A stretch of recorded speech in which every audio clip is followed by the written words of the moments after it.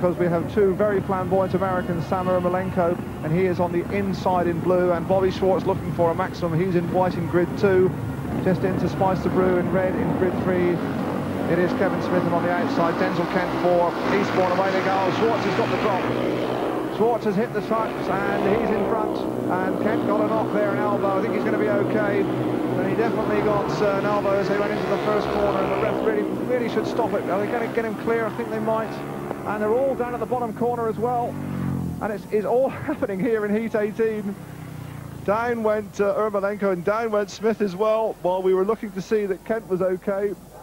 Well, was Denzel Kent pushed or did he fall? Let's have a look at it again. He's on the outside here as they all bunch up to the first corner. Keep an eye for Kevin Smith now. Does he get an elbow here? Or does he go on his own? Oh, took his leg out from under him. No doubts at all that Kent there, he's been excluded, but he was knocked off clean as a whistle. So here we go for the restart of heat number 18 with just Bobby Schwartz in with the two Pirates. Denzel Kent excluded, a bit controversially, but it must be said the referee hasn't got the same view that we have.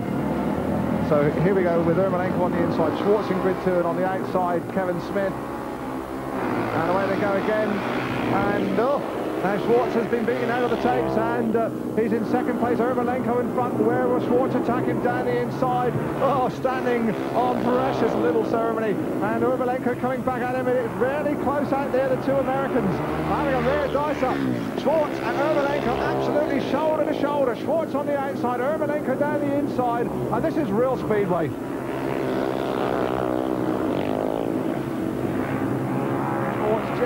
Moving ahead by what two three lengths. His experience around this Arlington Raceway where he is the master and Ermolenko hasn't finished challenging. Remember Schwartz has won lots. His last 29 races around here and he's really locking back on the line where Ermolenko will attack him. And it's a fine splendid advertisement for freeway racing this really having a go flat out the two Americans riding a perfect line perfectly competitive, perfectly sporting.